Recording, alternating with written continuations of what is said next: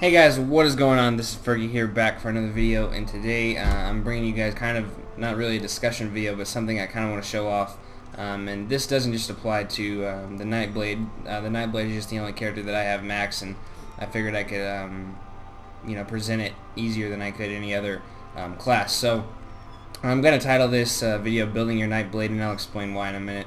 Um, obviously you could put any other class name in there and it would work just the same but I just want to kind of discuss um, some really unique builds you can uh, do with your Nightblade um, or um, kind of inspire you to come up with a unique build for any other class really because uh, like I've said multiple times in the past the game really does allow you to um, really build the character however you want so um, you cannot let the skills or the moves of your class depict how you're going to play. Now, uh, I can sound kind of hypocritical because my Nightblade is pretty traditional, but you can change it very easily and um, I guess it is kind of unique in a few ways um, and I'll show you guys the, my finished up class. I know I did my last I don't remember what level I was when I did the other um, guide but this is where we're sitting right now. So um, I'm currently uh, veteran rank 1 it, um, veteran levels are pretty lengthy. Um, I don't want to say it's grindy but I just haven't had as much time to uh, level it up. So that's why it's taking me longer than it should I'm still running the Thief, which is critical hit chance increased. Um, I'm rocking quite a bit of critical right now. Um, um, these are just uh, things for holding scrolls and Cyrodiil, so um, don't really pay attention to those. Emperor line, well, yeah, I, have, not checked that Cyrodiil in a while, but who knows what's going on there. So um, this is what I finished my stat set, and I'm actually liking this a lot. I keep my stamina and magic balanced because I use them both pretty equally. Um, my health is lower, but um, it's better than zero. I know a lot of people that'll just slam it into magic or stamina or all into health. And I like this balance I have. I don't tend to die very much unless I really screw up and I deserve it. So that's what I'm running right now. I do have a little more magicka than stamina, um, but my stamina regen is much faster. Um, as you can see, that my magicka, just because I'm a I'm a nightblade. So um, my weapon critical is through the roof currently, and that's just with my bow. If I switch to my second build, it goes all the way up to 75. Why? Wow. Why is it at 75? it shouldn't be that high. Um, that's okay. Maybe there, maybe there's a stat change in the latest update. But yeah, that's a lot of critical, and that's really what I'm going for with this build. Is a lot of critical. Um, I, if I can get critical on my bow, I can uh, shoot that up there as well. So um, I'll go ahead and show you guys the finished product of the build. I don't plan on changing much of it, um, and for whatever reason I do, I'll say that in a later video. But um, my dual wield bar is still exactly the same. I'm looking for something that could um, add critical, like a lot of critical um, pressure points. So I should only have six percent for that. Who knows? Um, I'm, I'm not complaining about it though. So um, my dual wield bar is still exactly the same. The only change from my previous build is on the bow bar. Um, I have uh, implemented snipe uh, lethal arrow into the bars. Now this is an insane amount of damage, um, and it also poisons the target, so it just kind of goes along with the bleed effects of this build. So while my dual wield bar is just kind of uh, slash and hide or whatever, uh, this is more about bleeds and survivability, which is why I will use this if I assume I'm going to die in an engagement, so um, a lot of big enemies or something like that. Um, if we look here at the weapons, my dual wield is maxed out and my bow is just about maxed out, so um, as you progress into these veteran ranks, I've got probably 15 skill points just in this veteran rank, so I've got four that I'm not even using right now. I'm planning on putting most of them into uh, these professions, but that's for later video when I do actually uh, start making it into the higher higher veteran ranks. But today I want to talk about um, all of these different skills um, that you have with the Nightblade and the different kind of builds you can you can um, make with them. Because I've seen a lot of different videos uh, where a lot of different people will make some very unique builds. Um, there will be vampire builds, there will be kind of warlock builds. Um, my kind of build is pretty popular um, amongst uh, Nightblades, and then some people even will like to run around with two hands. It's, it just kind of depends on how you want to play now. Um, assassination does work really, really um, implements just straight up damage. Now, nothing here really um, makes you have to be stealthy at all. Um, now, I've never used these bottom three moves. I just don't feel like it's worth putting them on my bar. But um, increased attack speed with light and heavy attacks.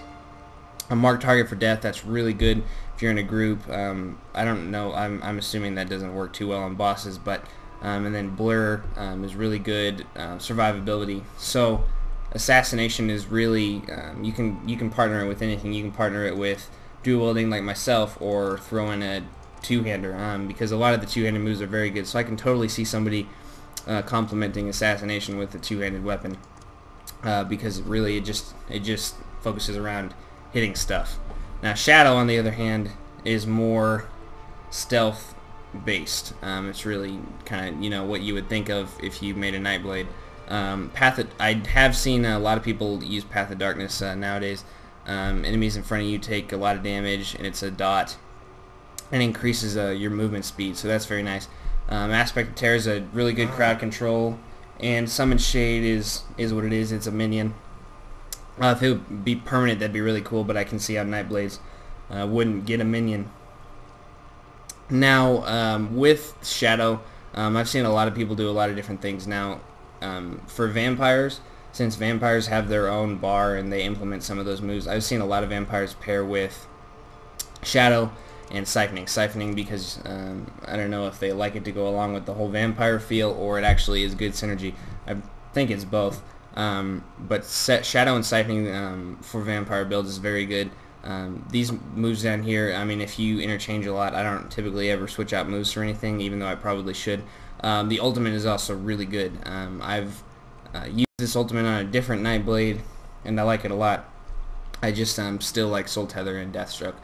But Consuming Darkness is a very good move, and really it can be uh, centered around any build as well. I, I really have seen any weapon paired with a Nightblade, and there's a lot of different ways to do it. So um, with with Shadow, I've seen um, I've seen tanks, I've seen Nightblade tanks run uh, Shadow moves, and I have also seen two-handers uh, deal Shadow moves. Now, obviously, there's dual wielding and bow. I won't talk about that as much because that's what I'm doing, and that's what you would think of when you think of Nightblade. I'm trying to get a little more unique here.